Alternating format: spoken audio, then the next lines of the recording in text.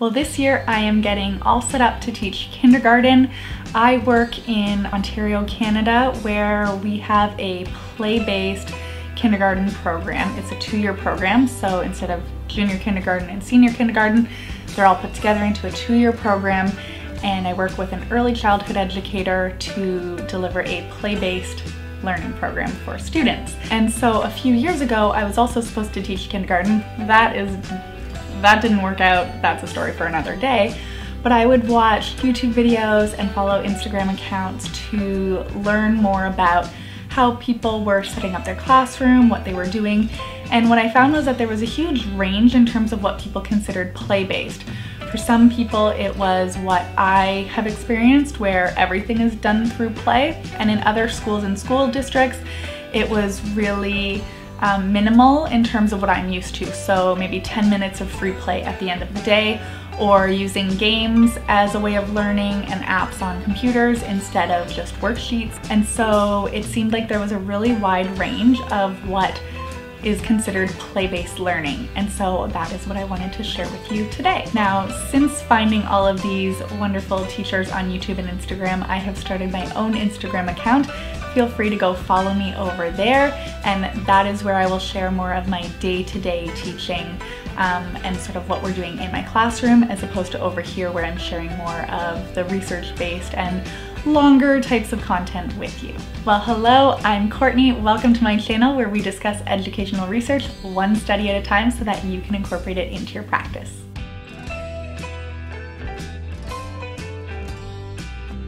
Today, the study that I am going to share with you is called Play-Based Learning, Evidence-Based Research to Improve Children's Learning Experiences in the Kindergarten Classroom.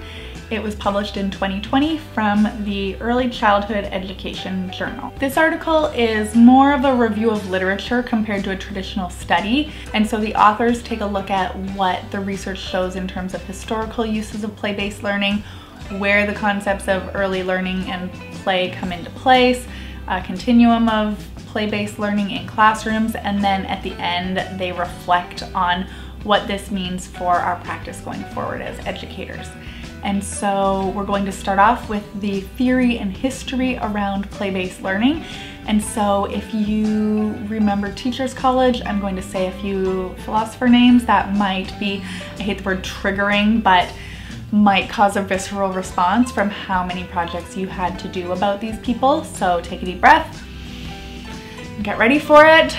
Piaget and Vygotsky, they're back. We cannot escape them. Leave a comment down below if you have had enough of Piaget and Vygotsky for a lifetime. I'm sorry for bringing it up again. It's not me, I'm just the messenger. It's in this article. So in order to explore play-based learning, the authors had to look at the theoretical uh, pioneers behind learning and play coming together. And so with Piaget, remember that is uh, the theories of cognitive development and how children move through predictable developmental stages in order to learn. And if we look at Vygotsky, that is all about sociocultural theory. And so that suggests that students, children, make meaning of their own learning and their own world around them based on the culture that they're in. And so there's an interplay there. And remember, culture doesn't necessarily refer to different countries and the norms and values of each country or geographic area. It can refer to any subset of people who share common values and practices. So you can work to develop your own culture in your own classroom or a culture of a school. And then the authors also look to historical conceptions of play-based learning in childhood. And so they refer to Frederick Froebel, who is the father of kindergarten, who wanted to create a child's paradise for children and gave all of the uh, little children a plot of land, a garden, kindergarten, a garden of children. Gave them a plot of land to tend to and take care of.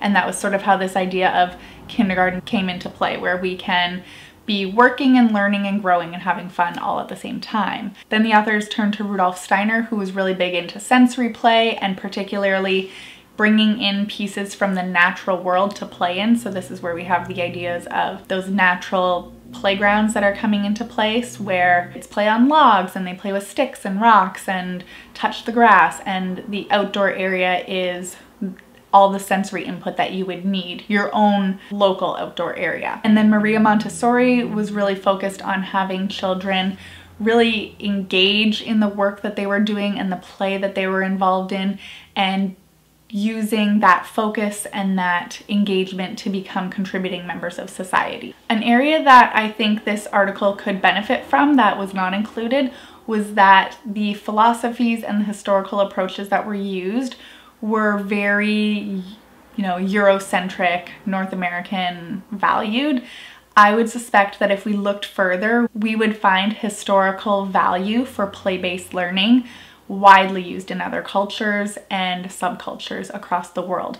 And so this is a very Eurocentric idea that's being perpetuated and it's sort of being seen as, you know, wow, look, look what we just discovered. Kids should play and learn that way. Whereas I'm sure if you looked on a more global scale, um, that would likely already be well established and well documented and not this new novel thing that we are putting into curriculum. to learn more about the types of play and play-based learning that exist, the authors turned to work by Pyle and Daniels from 2017 and Pyles and Daniels created a continuum of play-based learning. And so on the far left, we have free play, which is children playing as they normally would, little to no adult involvement or interaction. Children are free to play and create and lead their own play without any kind of intervention. Then moving a little bit more to the right, but still on the left, is inquiry play. And in this type of play, an adult would help extend the play that a child is engaged in based on the child's interests. So for example, a wonderful, wonderful teacher friend of mine noticed that her students were really into digging up rocks outside and trying to pretend that they were archaeologists. And so she brought out little paintbrushes and little tiny cups of water so that they could brush away all of the dirt off the rocks and really examine them closely. So that would be inquiry play. It's still child-led. She didn't say, let's go learn about rocks today. They said that they were really interested in seeing the rocks closer and so she was providing the tools and the space and the opportunity for them to continue on with what they were interested in. Then in the middle we have collaboratively designed play or collaborative play and this is where teachers provide themes or uh, contexts for children to learn in based on their own interests and teachers extend the learning through activities that they put in that they're hoping students will take up and in, and reinforce some some learning skills there. So for example, this is where we see the dramatic play center transform into a restaurant because students talked about going to a restaurant the night before and the teacher might put little notebooks in there so that students can write and the teachers might pop into the little restaurant and say, oh, can I order something? I have some money here and help the students count it out. So the teacher is really involved in this type of play and the teacher can take academic standards and try and position them in the play context that have been created. Then a little bit more to the right, there's playful learning. And so this is where teachers don't take up the interests of the students. It's very teacher directed in the sense that the teacher is deciding what is going to be taught, what needs to be learned, but they deliver the content in a playful way. So instead of doing a worksheet about addition, a teacher might bring out some toys and they might create a little story together with the students.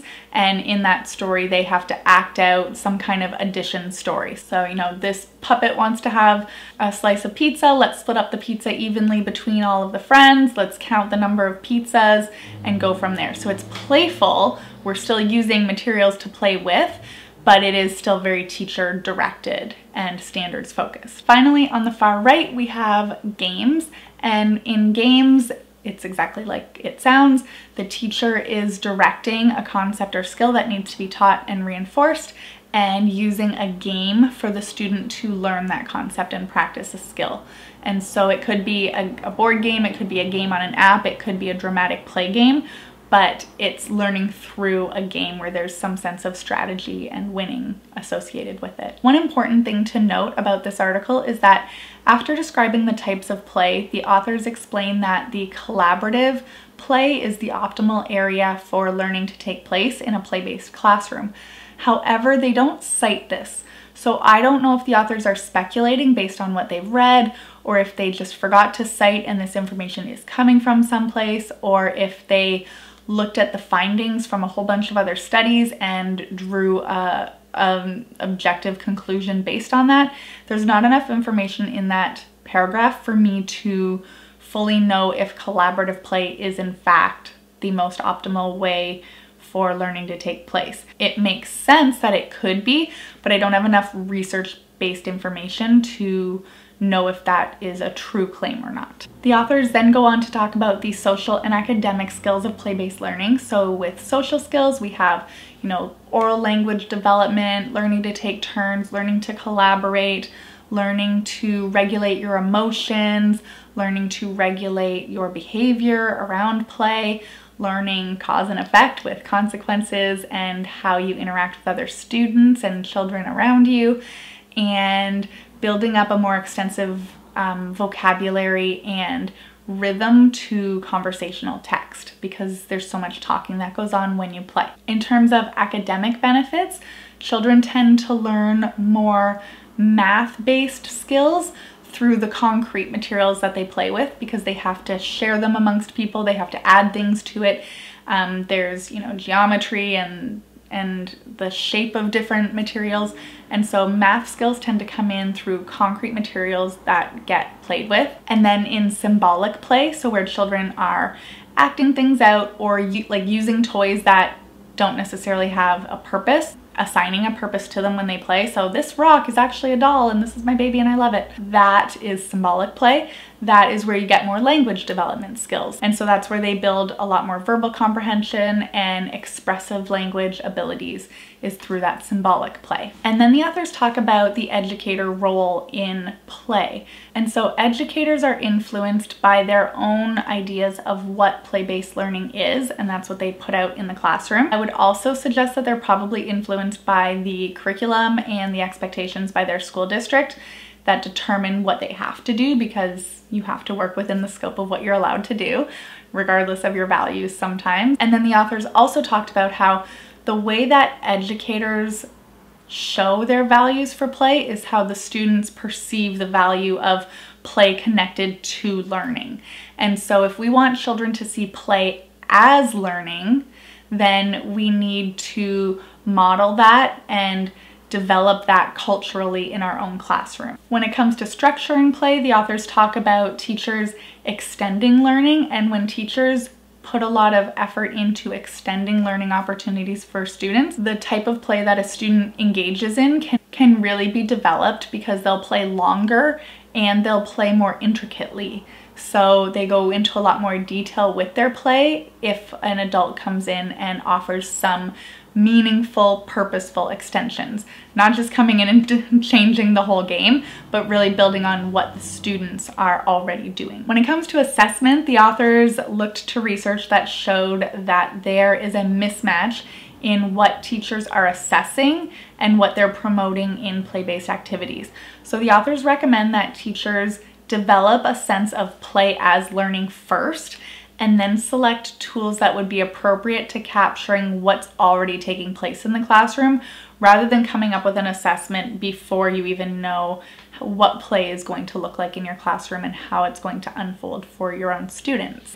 Then the others talk about using technology and different apps on iPads and computers to promote play in the classroom. They didn't talk about what specific apps were used and where these apps fall in terms of being on that continuum.